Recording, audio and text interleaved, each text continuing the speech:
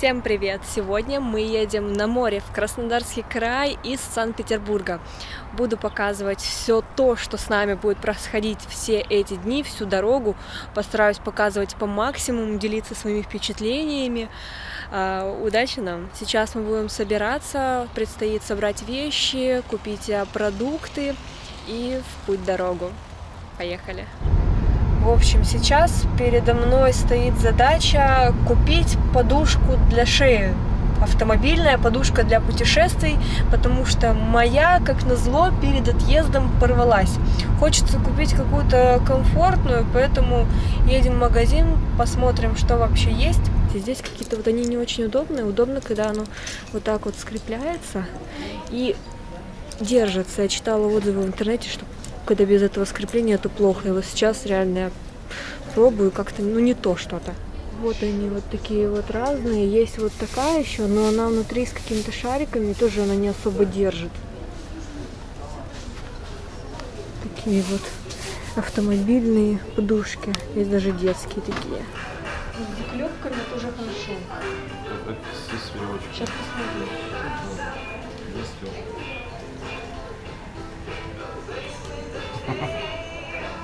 Да.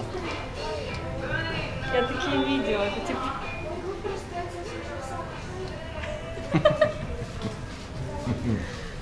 Все, берем. Что, это единорог? Ну, что-то типа, наверное. В общем, купили мы наши подушечки, слава богу. Материал нам понравился в, этот, в этом магазине. Так что идем дальше выполнять все наши дела. В общем, вот она такая вот подушечка для шеи. Так-то удобно, да, в принципе. Очень здорово, особенно в таких длительных путешествиях.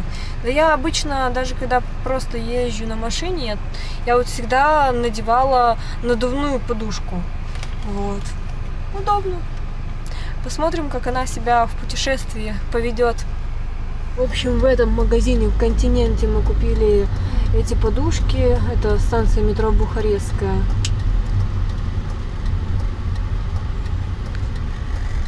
Питер снова пришла жара, 30 градусов. Из жары едем в жару.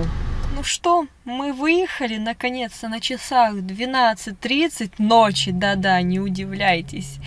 Приедем в Москву в самые пробки. Познаем, что такое пробочная столица нашей Родины.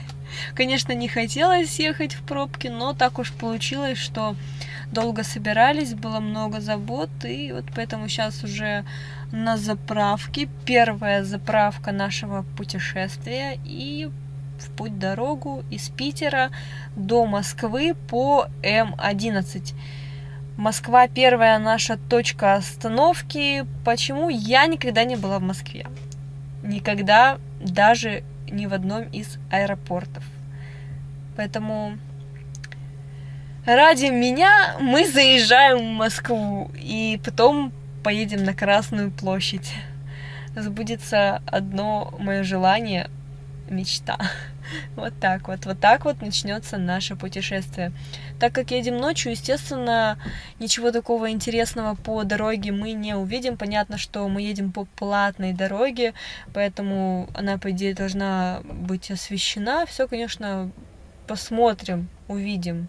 Потому что раньше, когда мы ездили на юг, мы ездили вообще по другой абсолютно трассе, и это были неплатные дороги. Так как у нас нету транспордера, транспордера, ну вы поняли. Естественно, мы будем оплачивать либо картой, либо кассиру, ну, как там есть. А, здесь, э, значит, э, оплата такая, сам Здесь вот. сначала нужно взять билет. А, да, точно. Здесь такого. Да, вот точно, это на выезде. Точно, мы сейчас берем билет. Написано, нажмите на кнопку для получения билета. Дотянуться еще до этой кнопки. Нажимаем, хоба, вылазит бумажечка наша. Да. Вот она. И мы поехали. Да, зеленый свет загорелся, и мы поехали. Это нам нужен талон будет, чтобы потом оплачивать при выезде. Видите, сейчас у нас будет поворот на Москву. М11 трасса. Москва. До Москвы нам, получается, 700 километров. Там чуть меньше. Это 130 можно идти по этой магистрали, но это ведь магистраль считается, по идее. плавно, да? Ну, просто то, что, насколько я помню, все, что выше 110, это же магистраль считается уже. Ночью э, ехать выгоднее, потому что цены вроде как меньше. Так что мы посмотрим уже, когда будем выезжать, есть ли вообще какая-то разница. Все, Петербург, пока-пока, впереди Москва. Меня тут решили исправить, поумничать, что не магистраль, а автомагистраль. Прислушаемся, потому что это правильно. Вот, едем по автомагистрали. Вот. Наверное, остановимся перед Москвой. Очень так.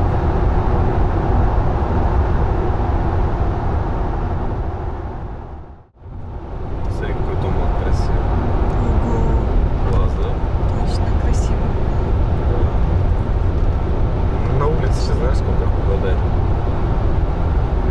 Ну, было 15, сейчас должно, сейчас время 4 утра. Ну, по идее, блин, холодно, наверное. Настолько же, наверное. Один с половиной. Ого, нет. Туманная дорога, да, такая? Это да.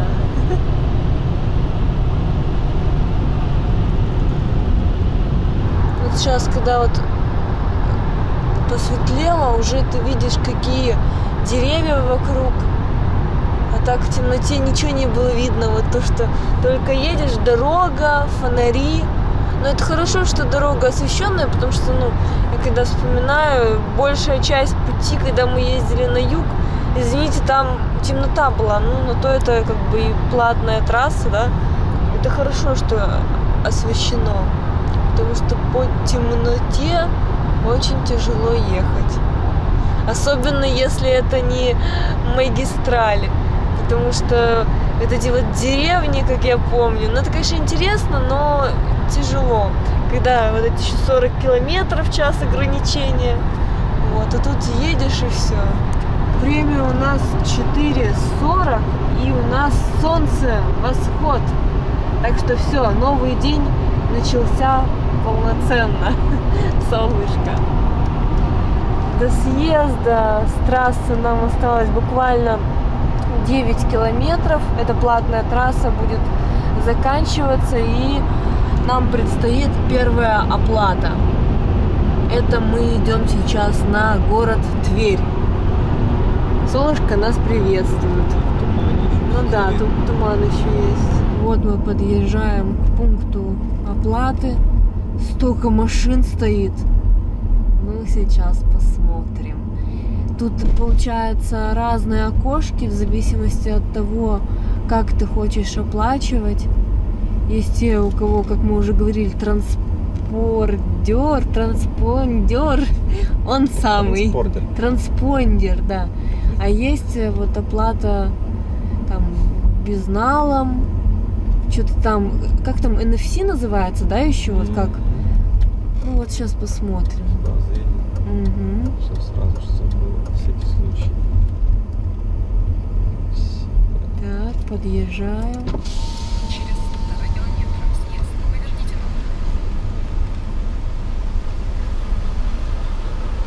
Так. Здесь у нас, видимо, Мгм, Самообслуживание. самообслуживание. Так. Тикет надо вставить в эту сторону. Наверное, вот так вот. Опа. Пожалуйста, оплатить поездку. К оплате 1450. О, раз пошло. Успешно. Все, зеленый свет. И мы едем дальше. Всю дорогу очень интересные названия рек. Причем такие прям славянские, такие какие-то русские. Особенно когда ехали в Новгородской области. Они прям такие необычные. Особенно ты это понимаешь, э, пожив на юге, я уже вот отвыкла от таких вот именно русских названий. Что там там что-то другое. А тут прям едешь и смотришь, все какое-то необычное. Например, какая-то река была Полесть, по-моему. Очень интересно. Впереди у нас следующий пункт, где выдают билеты на платную дорогу. Вот. Получается второй пункт. Посмотрим, что будет здесь. Это получается дорога прямо до Москвы. Вот это вот. Получается, да. М, Так, а какой нам надо? Вправо. А, здесь тоже выдают бумажку. Ну да. Здесь тоже нет пока Человека. человека. Нету человека здесь. Одни роботы. Одни роботы.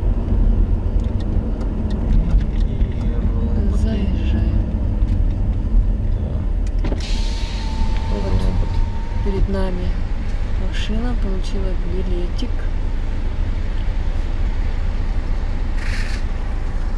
А чек? А, б- а он билет не взял? А, это мне что ли? Возьмите билет на нижнем уровне. Счастливо пути.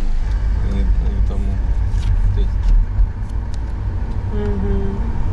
Оказывается, подъезжая к Москве, мы проезжаем Шереметьево. Так медленно мы подъезжаем к пункту оплаты. Вот это я понимаю. Вот это Москва. Сразу понятно, где мы. Это я даже не представляю, сколько здесь окошек в обе стороны. Ну и посмотрим сейчас, сколько с нас возьмут денег. Здесь же, нас. Здесь уже люди должны быть, да? Наверное. А может и нет. Да, тут уже люди есть. Люди. Интересно. Здрасте. Так, карточка. По карте оплата 980. 980. 980. Целый выросли.